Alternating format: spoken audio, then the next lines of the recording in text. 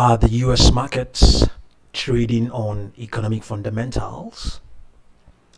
Recently, we heard uh, certain analysts uh, say that um, the US economy has gone from a steady decline and there has been a turnaround and the data they have on commerce and manufacturing has turned to the upside.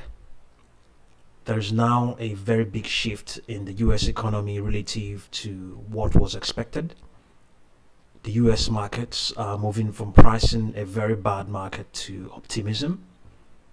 And they their view is that the market is now it's not an irrational uh, it's not an irrational one and equity markets are usually forward looking as such they are looking at earnings for 2021 even though we're still in July 2020 and I don't think the markets are too high in, in, in valuations.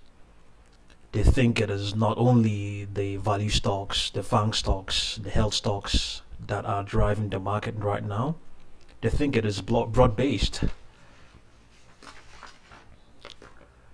uh, they are and they are val val validating the, the perception that the low interest rates is offering support to uh, the equity markets.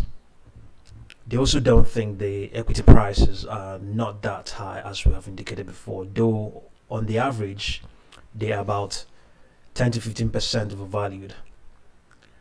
And the, the underlying growth at, at the moment now, according to them, is real. Uh, it is uh, and as such the market is driven by uh, fundamentals economic fundamentals. So um, this is we also um, uh, have this piece uh, on market watch. It's an opinion.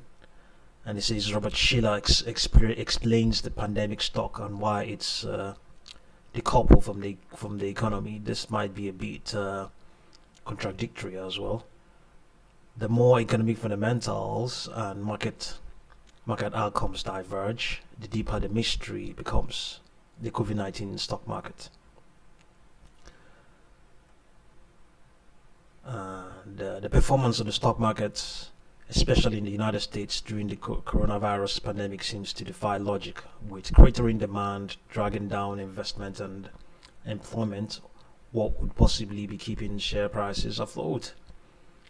The more economic fundamentals and market outcomes diverge, the deeper the mystery becomes until one considers possible explanations based on crowd psychology, the virality, the, the, the, virality of ideas, and the dynamics of narrative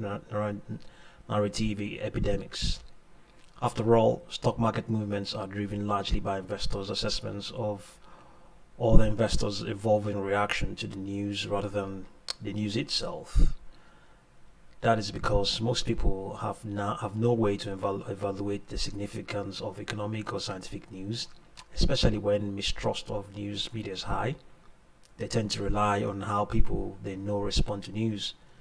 This process of, of evaluation takes time, which is why stock markets do not respond to news suddenly and completely, as conventional theory would suggest the news starts to starts a new trend in in markets, but it is sufficiently ambiguous that most uh, smart money has difficulty profiting from it. Okay, we're going to add this uh, link for you to read up yourself. Um, uh, thank you very much for watching this video. Don't fail to subscribe to our channel and uh, also support us on uh, through Patreon and pay or PayPal and also sign up on our on our um, uh, market our monetization platform equity for keeps where we help people and you as well uh, um, uh, do smart things with your money. Yeah your money would your money won't be at risk. You're not uh, staking your money when you sign up.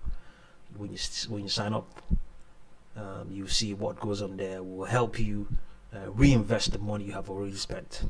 And that's really clever. And we all need it right now uh, because things are really getting tough, they're getting tough, and um, you know we're doing our best uh, to uh, seek out opportunities for everybody, and especially you that uh, that will sign up in the near future. Thank you very much for watching this video.